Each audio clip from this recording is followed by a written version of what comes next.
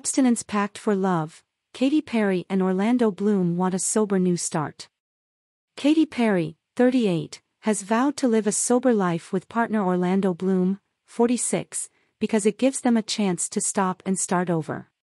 At the end of March, the singer, Roar, revealed that their joint pact had lasted five weeks, and how it should continue. Katy Perry wants to support Orlando Bloom.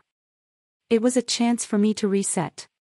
We started after President's Day, February 20th, and it was a great opportunity to rejuvenate my body, she told People.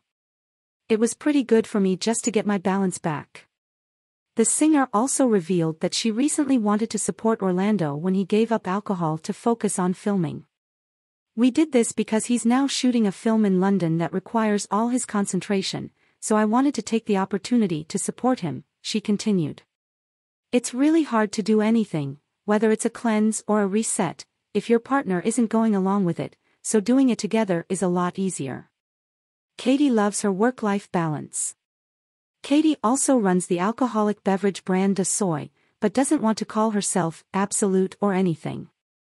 I love my reset moments, especially now at 38 to balance the intensity of my career and having a toddler who loves to run around, said the mother of two-year-old Daisy Dove, who fell in love with father Orlando Bloom in 2019.